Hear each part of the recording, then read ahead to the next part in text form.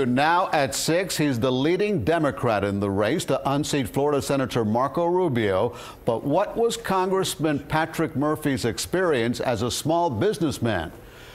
Tonight, in part two of our investigation, in the wake of the BP oil spill, Murphy's company launched a new line of vessels that promised to leave others in its wake.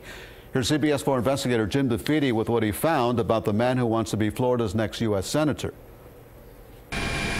When Deepwater Horizon exploded in 2010, fouling the Gulf of Mexico with millions of gallons of crude oil, nearly 7,000 boats were pressed into service here off the shores of southern Louisiana.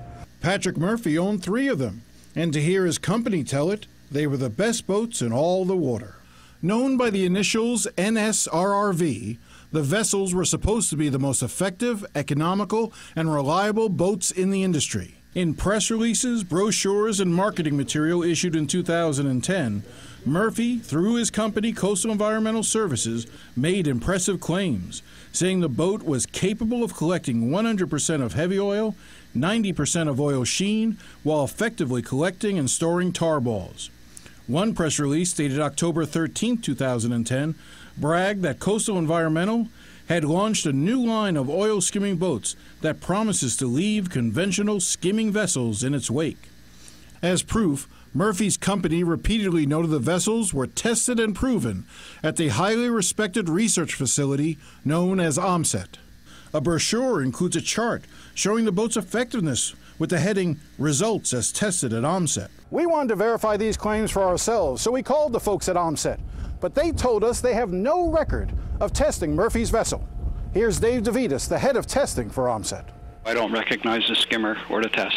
DeVitis has worked at Ohmsett for 24 years and been the director of testing for the last 15. CBS 4 News provided DeVitis a list of businesses, either directly or indirectly related to the boat, including Coastal Environmental Services, Coastal Construction, as well as the shipyard which built the boat, Director.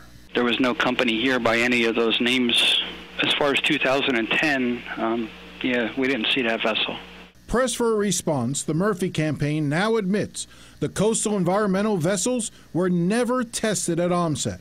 CBS 4 News has learned Murphy was relying on a test from 1978, five years before he was even born, that examined part of the technology used in the skimmer. And DeVitis now suspects the demonstration video posted on Coastal's Facebook page in 2010 was actually from that 1978 Ohmsett test. Patrick Murphy declined our request to discuss the issue on camera. His campaign released a statement. Patrick worked with a shipyard to put an innovative skimming vessel into use, improving it for use in the Florida Keys. The shipyard guaranteed that the oil cleanup technology had been thoroughly tested. The results of these tests were reflected in Coastal Environmental Services marketing materials. The shipyard declined to comment on the testing. And then there is this press release, which notes Coastal Environmental Services specializes in hurricane, tornado, flood, earthquake, fire, and other disaster remediation. Coastal Environmental Services extended its disaster recovery business unit to include oil skimming and cleanup efforts after the Deepwater Horizon oil spill. At the time the press release went out, Coastal Environmental Services had been in business less than three months, and the Deepwater Horizon oil spill was its first disaster. Reporting from St. Bernard Parish in Louisiana, I'm Jim DeFede, CBS 4 News. Now, Congressman Patrick Murphy's campaign has responded to our investigation. You can find that and more of our reporting at cbsmiami.com.